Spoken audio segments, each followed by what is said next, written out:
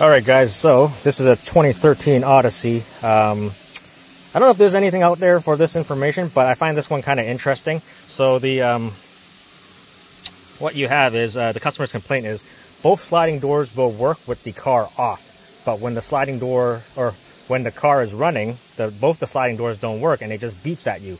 Uh, so that's the, uh, the, complaint, along with the a couple other list of complaints that's on here. But this is the most interesting one for you guys. Uh, so you can pause it, read it. I think the uh, advisor kind of screwed up the uh, information that they gave you, but just by um, checking. Uh, so the sliding doors do work when you you know door handle, the switch on the side, and the sliding doors open and close. Right. Same thing on both sides. I'm just opening both both that side and that side. I don't know if you can see it yeah, so they open and close. But once I um, start the car and I go to try to uh, open the oh, music, how do I turn on music? Yeah, there you go, music. Uh, so I try to open the power windows. It doesn't do nothing, right? And then if I try to do uh, use the door handle on the outside, on the power sliding door,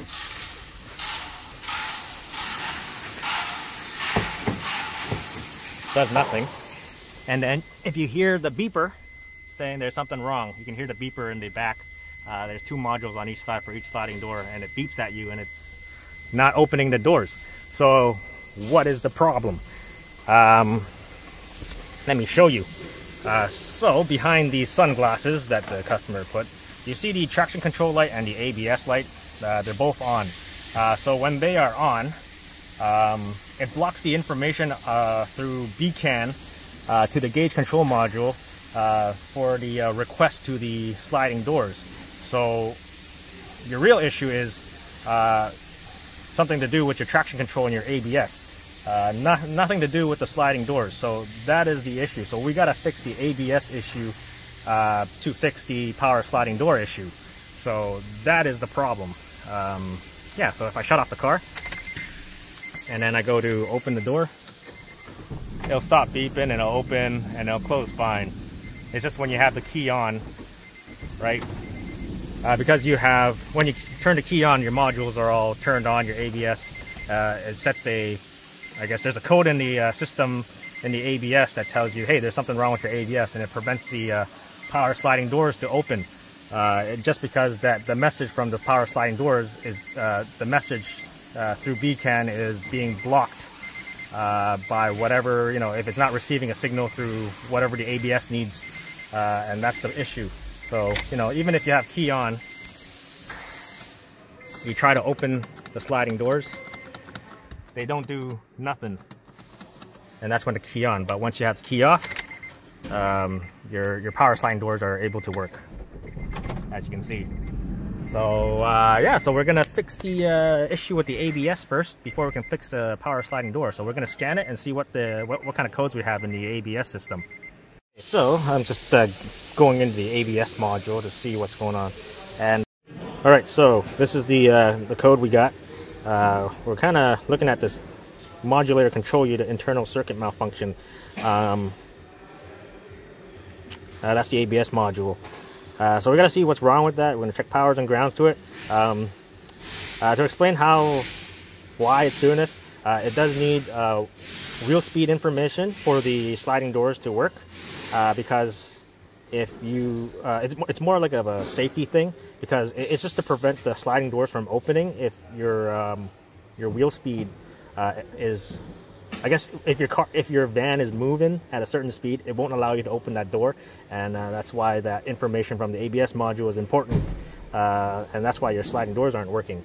So we're gonna see why that ABS control unit is uh, having issues.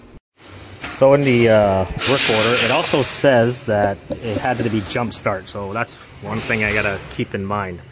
Uh, but the ABS module lives down here. I don't know if I can zoom in. It's it's it's like let me see if I can get a shot. I just took a quick peek down there. I don't know if that connector is completely connected in. This is one of those latching ones. Uh, see. Let me see what I can show you. It's down there. Ah, camera. to do your thing down there. I don't know if you can see it. I got it right in the, just right in there. If I could just focus on that connector down there. All right, so yeah, no, I was wrong. Uh, from this angle, it looked like it wasn't latched latched down all the way because this one was sticking it sticking out that way. So it is latched in. So now we're just gonna we're just gonna check the fuses for this ABS module and the uh, the ground. So I'm just looking at the fuses here. They all seem pretty good. It's it's the the 30 and a 40 in the box here. Uh, VSA and then VSA MTR, VSA FSR. Uh, fuse look good, so that should be okay. Uh, just curious, I'm gonna clear the codes and then see if it comes back.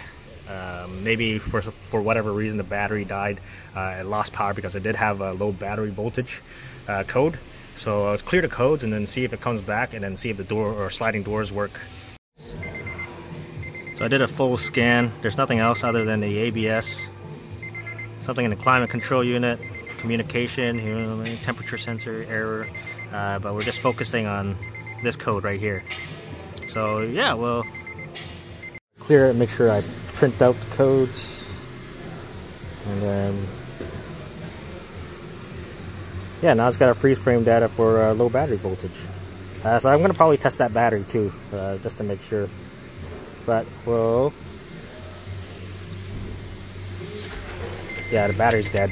So this could all just be a bad battery. So yeah, look, I didn't have it on for very long, and then the, it doesn't even crank over now. So um, yeah, so this can just happen because you have a dead battery. So yeah, so ABS lights are out, right? Um, clear the codes. Uh, yeah, so it, not necessarily. It might be a you know a dying battery that's causing this. Uh, if you have like a code in the ABS for wheel speed sensor for whatever reason in the ABS, um, yeah, it's just because it set a code in the ABS, it won't let your uh, power sliding doors to work. So just a good information in case you guys have an Odyssey, a 23. Uh, I think it's from 20, 2005 to 2015 Odyssey um, uh, that does this. So if you're wondering why your sliding doors aren't working, check your dash, see if you have an ABS light on. Uh, that's preventing your uh, sliding door from opening. Also, uh, what, what, what will also prevent your driver's side sliding door from opening is that gas door. There's a little switch in there, so when that switch goes bad, you you're not able to open that sliding door either. It's just all safety stuff. So, all right. So yeah, like you said, uh, needs a battery.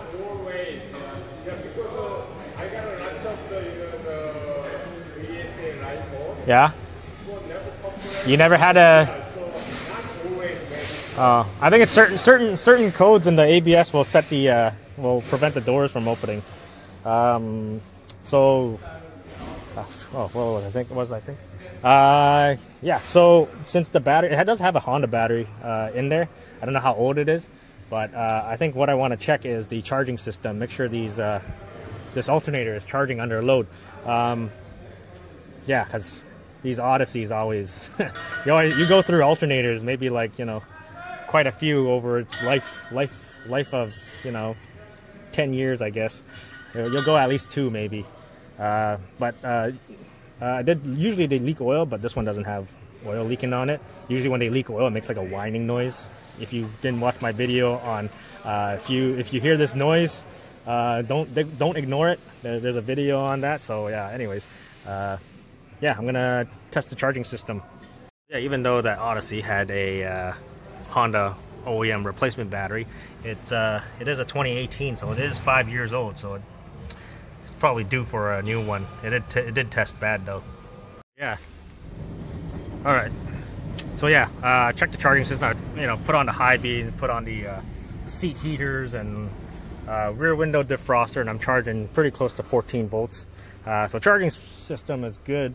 Uh, now that the lights aren't working, you can I can you know while the while the engine's running, you can open the doors now. Yeah, see. So you know that works.